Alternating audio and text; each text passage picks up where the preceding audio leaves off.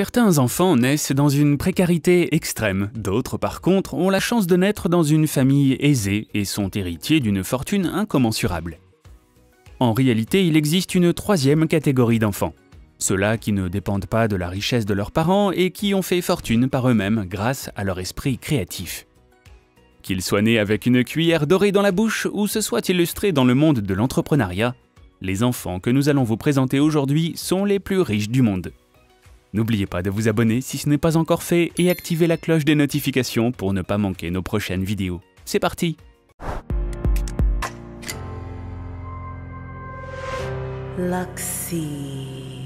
Si avoir de l'argent est un véritable casse-tête pour certaines personnes, d'autres s'en soucient beaucoup moins. C'est le cas de Mozia Bridges, le plus jeune entrepreneur des États-Unis et du monde entier. Que fait-il? Il est propriétaire et président directeur général de l'entreprise Moe's Bows, une boutique de nœuds papillons colorés.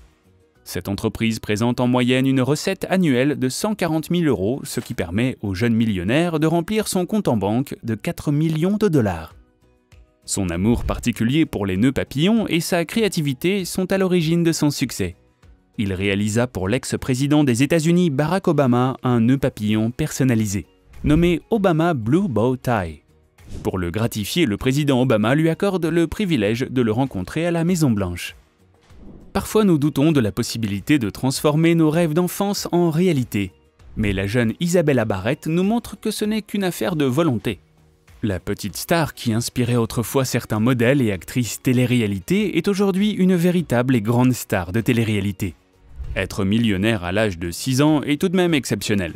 Mais quand vous disposez, comme Isabella et sa mère, d'une bijouterie et d'un prêt-à-porter, tout semble réalisable. Faites un tour à Glitzy Girl pour une touche spéciale avant d'assister à l'un des concerts de beauté de la grande sœur de Victoria Barrett. Quand nous étions enfants, les parents ne cessaient de nous chanter à l'oreille que les sucettes étaient mauvaises pour les dents. Mais les plus têtus d'entre nous se cachaient pour en prendre. Mais alors, comment consommer des bonbons sans abîmer les dents? Telle est la question qui conduit à la naissance de l'entreprise Zollipops.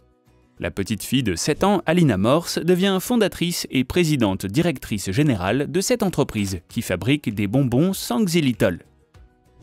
Ainsi, le Z de Zollipops provient de l'absence de ce sucre classique, le xylitol, dans les sucettes de cette marque. Alina a une fortune estimée à 10 millions de dollars. La prochaine sous les feux de la rampe médiatique à un jeune âge est Nastia. De son vrai nom, Anastasia Yurievna Radzinski, Nastia est née le 27 janvier 2014. La star de YouTube, également connue sous le nom de Like Nastia, profite des différentes chaînes YouTube dont disposent ses parents pour se faire connaître à la face du monde. Like Nastia, Like Nastia Vlog et Like Nastia Show diffusent au quotidien les émissions de cette petite perle au statut légendaire. Le 7 mai 2021, sa chaîne devient la 50e la plus suivie et likée sur YouTube. Quelle chance Ryan Kaji est l'enfant le plus riche du monde. Il possède une chaîne YouTube nommée Toys Review sur laquelle il diffuse ses vidéos pour enfants. Disposant de plus de 30 millions et demi d'abonnés, sa chaîne est l'une des chaînes YouTube les plus suivies aux États-Unis. Dans son amour pour la distraction, il est l'enfant le plus riche du monde avec un compte en banque évalué à 32 millions de dollars. Alors, que pensez-vous de ces enfants millionnaires? N'hésitez pas à partager votre avis dans les commentaires. Merci d'avoir suivi cette vidéo. Si elle vous a plu, alors n'oubliez pas de nous mettre un petit like pour nous soutenir. Portez-vous bien et à la prochaine